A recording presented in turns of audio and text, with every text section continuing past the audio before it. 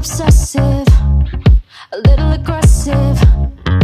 We're not quite depressive, depending on the hour, the love's excessive. I don't know how we find all these fools wasting all our time.